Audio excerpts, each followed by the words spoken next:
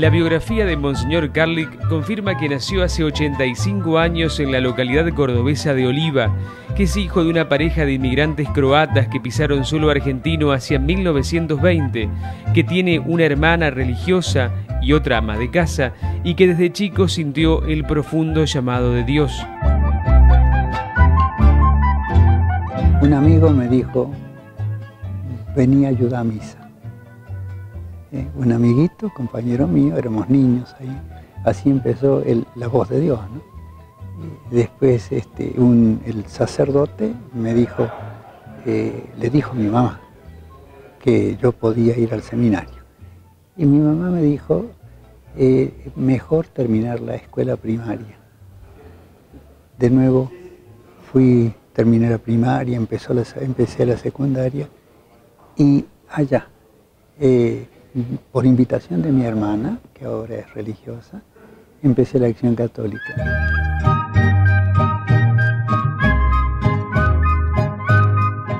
¿Cómo fue su infancia? ¿Fue una infancia feliz?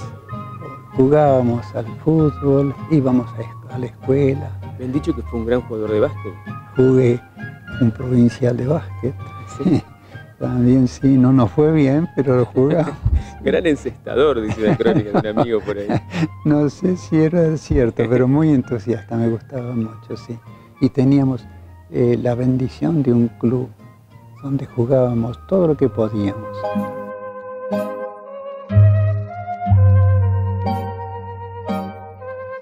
Cuando usted estaba en un seminario como este, cuando se estaba formando, ¿alguna vez pensó que iba a llegar a ser cardenal?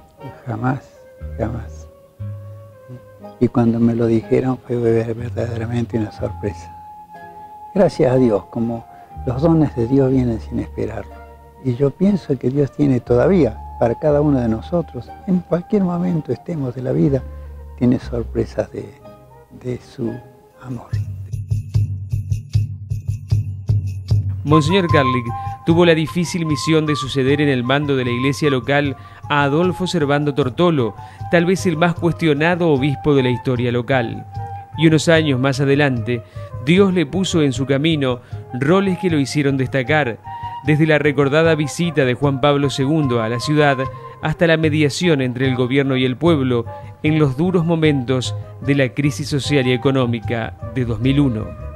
Una de las de las eh, gracias que tengo que dar a Dios es haberme hecho vivir esos momentos difíciles, para hacer ver cómo nosotros podemos estar presentes, pero con la, con la fuerza de la palabra de Dios, con la fuerza de la, de, la real eh, amistad espiritual con todos, el, tener que buscar siempre como Dios eh, lo ha hecho por su Hijo y como nosotros aprendemos en la iglesia, buscar el encuentro con todos.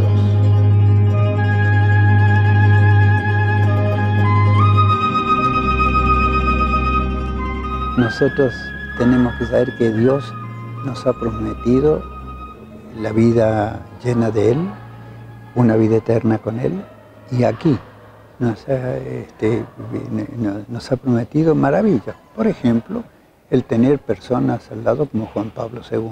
Yo lo, quise mucho, lo traté no tanto como otros, pero lo he tratado más de una vez y era, era transparente, transparente, fuerte, fuerte. Él sí que creaba confianza, él sí que creaba confianza. Cómo medía sus palabras pero cómo llegaban sus palabras. El estar al lado de él así me, me, decía un, un obispo amigo, y lo experimenté, estar al lado de él era recibir la fuerza de su persona. Monseñor Carlig habla pausado y bajito, transmite paz y sabiduría. Es un hombre con halo de santo, un anciano con la fuerza de la fe intacta. Carlick tiene mucho para contar. La vida lo ha puesto frente a presidentes, emperadores y pontífices, algo que tal vez él nunca soñó.